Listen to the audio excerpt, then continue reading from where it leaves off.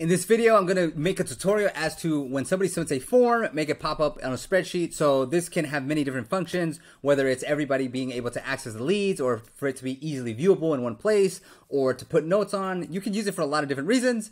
Whatever that reason may be, it's up to you, but here is how it works. So I just set this up. I'm gonna set a test uh, submission for this thing. And let's see, it should populate on its own right here, like instantly.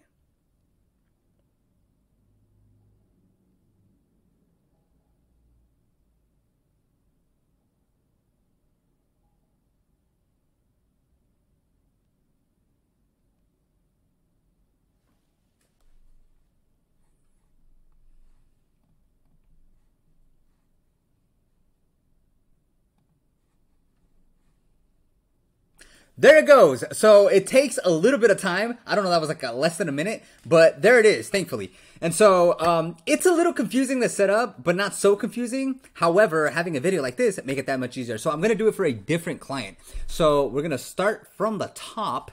And what you want to do is first have to create a Zapier account. And when you go in here, they have this AI thing. You can literally put Gravity Forms a sheet. And so we're gonna hit try it. You just put Gravity Forms to sheets. This is, of course, assuming you have a website that has Gravity Forms, etc., etc.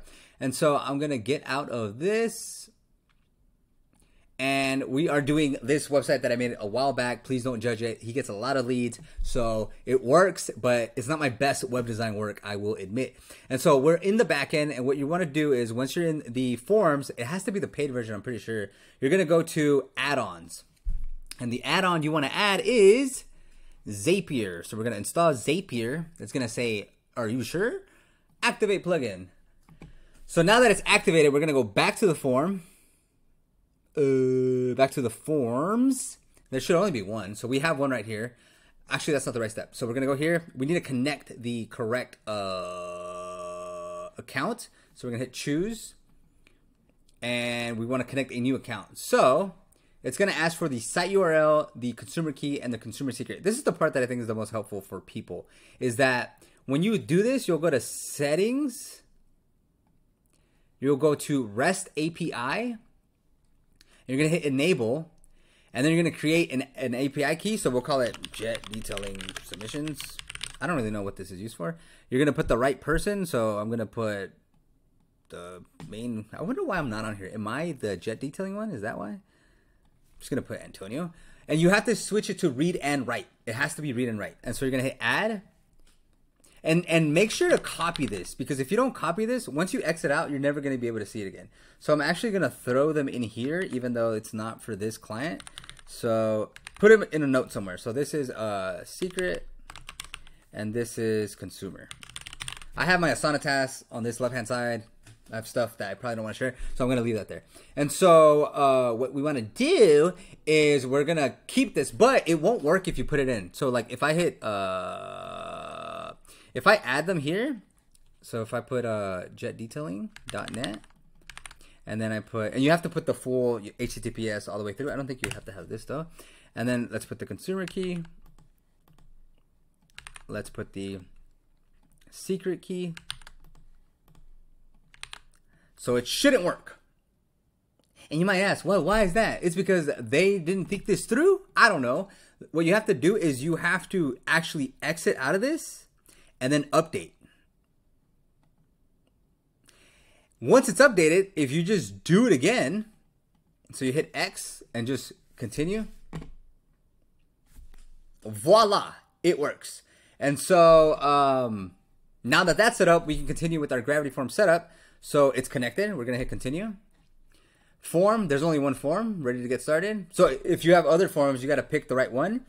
Uh, use admin field. So hit yes. This is going to pick the forms from the thing, whatever the, what is it called? The, I'll show you right now. Unique name, uh, jet form submissions. I don't really know what this is used for, but so we're gonna test the trigger. It's gonna get the latest, the last three. And so you got to make sure it looks right. So I think this is the header thing that I was talking about just a moment ago. So these are the people, the name, the options, etc. And so it looks good, right? Like this looks like a, what a form submission would look like. So we're going to continue with selected director. Now we wanted to, what, it, what do we want Google Sheets to do? We wanted to create a spreadsheet, but we need a spreadsheet. So we're going to create a new one. If you go sheets.new to create a new one, and we'll call it jet detailing form submissions. And by the way, you can stack these zaps. So if you wanted the zap to then send a text message, you can connect Twilio. Twilio is a big giant mess. I don't actually recommend it because it's so many. It's actually a, a, lot of hurdles. But if you wanted to create an Asana task, if you wanted it to, I don't know, tweet something, like you can stack the the zaps. And so, um, so we're gonna hit create spreadsheet. We're gonna hit continue. It, you know, you'll you'll have to log into your account, your wherever your drive is. You hit my drive so if this was on whatever the Microsoft version is, I'm sure it would work similar. Uh, you pick the correct spreadsheet, uh, worksheet zero, because that's this one. That's what it means by worksheet zero. And it doesn't see headers. So we have to add the headers because it doesn't know, right? So all we're going to do is we're going to go to the actual form and we're going to set this up. So we're going to type a name. Well, pro tip, put entry date first because most people want to see in order and that's the easier way to manipulate the data in the future. Like if you only wanted June or if you wanted, you know, May of 2023, it's, it's really hard if it's not there. It, it won't, you know, it won't know. And so I would put entry date. Uh, then then you can start putting name, email, phone, city, service, and you can you can um year, year, make, model you can of course just export the form and then copy it from there, but we're we're being lazy by typing it out. Uh, preferred uh, method of contact. I guess you don't have to put all of them, but why not, right? And message. So you know you do want to make it nice and neat, but we'll we'll import the information first, and then we can size this stuff. So I like to bold things, and so now that we have that set up, we can go back to our form. We're gonna hit con. Well, we have to refresh it because it doesn't know that we added this. And so now that it was able to read the sheet, it's like, oh, okay, what is the entry date? And so then what you do now is when you click this, it's going to pull the information from the actual, uh, the actual thing, the actual uh, form, and then you'll just find, you'll just match it up. So where is entry date? There you go. So now it's going to know exactly when the form came in. The name is obviously under the name. The email is under the email. So, you know, make sure when you set up your forms, you're actually naming them correctly on the back end. City, city, city, city, city. What city are you in? What is the service that you want? You can actually type it too. If you have too many, uh, whoops. If you have too many, uh, options, well, maybe not. Where's my, uh, I'm looking for service. Or actually, what does it actually say? It says, yeah, service. My apologies here. I am trying to find service. ID, user agent, sources, form. Okay, why am I not seeing it? Uh, year, make, model. Oh, here's the service. What the hell? So second, third last. Oh, what? There it goes. That's the service, year, make, model. Doesn't help that this thing doesn't scroll down. Method of contact. This client specifically wants to know how to reach out, which actually is effective, so good on them. And then message. And so now that we have that, we matched everything up. We're gonna hit continue, and then we're going to, uh, you know, proofread it, and we're gonna test the step. And if it works, boom, there you go. Here it is. So now I'm gonna unbold it so that so that everything isn't bold, and then I'm gonna format it a little bit. So I'm gonna hit this little thing. I'm gonna make this a little bit bigger. I'm gonna. I'm sure there's a shortcut for this, but I don't know it.